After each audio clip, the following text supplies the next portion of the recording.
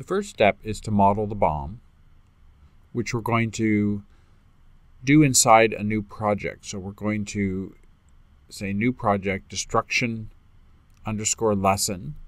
Uh, this creates a bunch of subdirectories. We helped organize uh, what we're doing here.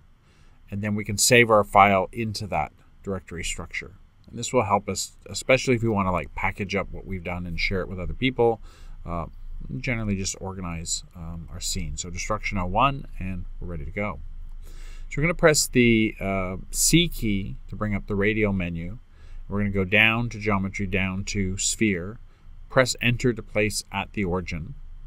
And this will uh, create a sphere. Now we could size it in the parameter pane there, but instead we're going to use the operation controls up above. And this allows us to manipulate a node inside um, down at what's called the geometry level. Now to get to the geometry level, one of the ways we can do that is to press uh, 3 to go to edge selection and that will allow us to go in to the geometry level.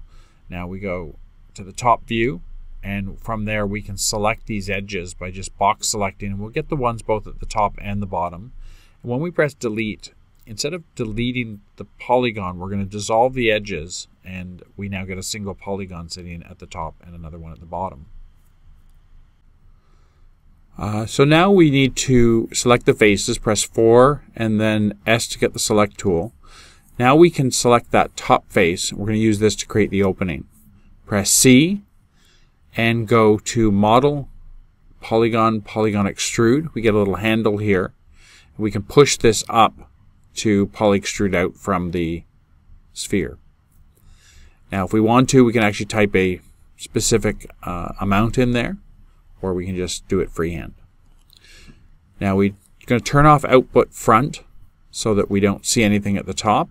Now we're going to scroll down to the bottom. We're going to press S again and we're going to select the bottom and press delete.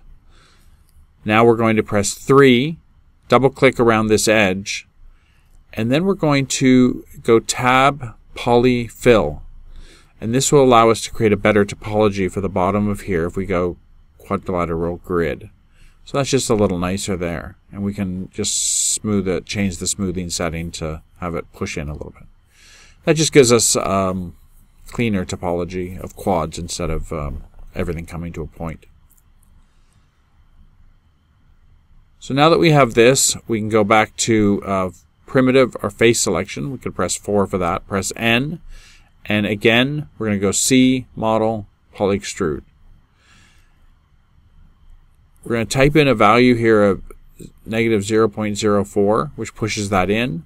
And we're going to say output back so that we see the geometry. Now in this case, because we went in the negative direction, everything is uh, inverted. So we can press N on that geometry and go tab reverse. And now um, it's looking right. It, the darker um, color on the geometry indicated we were looking at the back side. Now press S and 3. We're going to add some bevels into here. We're going to zoom in, um, dolly in, and we can now double click on these two edges here and press shift to get the second one. And then we're going to go uh, poly bevel. And then we can just type in a value or drag that there. 0.005.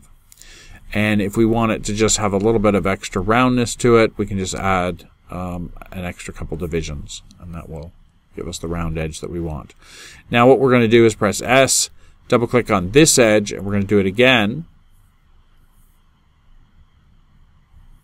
So in, in that place you can press Q.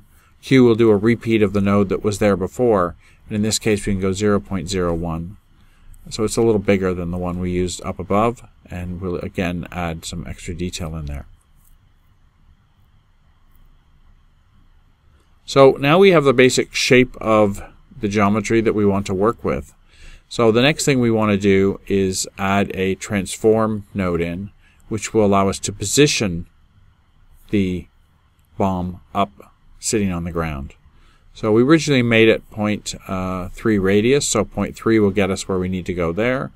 And then we want to tilt it a little bit, uh, so we're going to rotate around the x direction 27 degrees. So that'll tilt it a little bit to the side. And that'll give us the look that we want. And that's done with a, this transform node here in the in the geometry level. Now we're going to tab and add a null node. This will be called bomb underscore out, and this will help organize the file when we use this geometry later. We can press L to organize the nodes and get the look that we want in the network. Now, once you have that, we can go back to the object level and give the object a name uh, if we want. So instead of sphere object, we're going to call this bomb underscore geo.